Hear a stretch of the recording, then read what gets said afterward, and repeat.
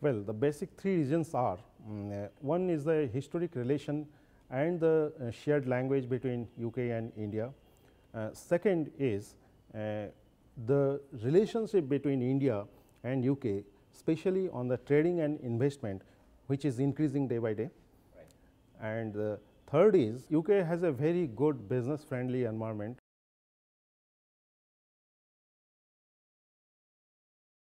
the natural fit is, is already there because uh, this is the gateway of Europe. Uh, most of the investors they start business at UK and then they penetrate to the European country. Uh, but whatever we mentioned earlier, uh, this is the historic relationship as well as a shared language between these two countries. And uh, for the startup company, UK uh, has a very good business environment.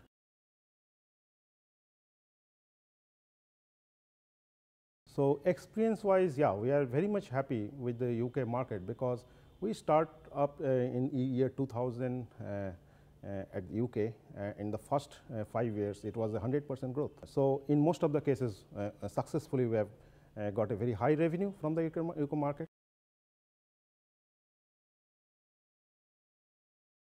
One major challenge is we have worked with so many other industries within UK, but at the government level we have not penetrated too much. And the second is we are a, a, a middle level company within UK and we have been unable to penetrate the higher level within the UK market.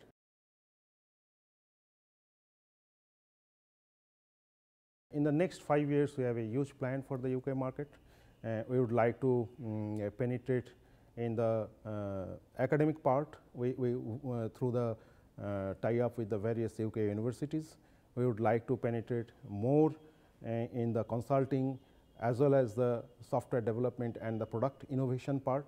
And our plan is to increase it is 4 times whatever we have right now.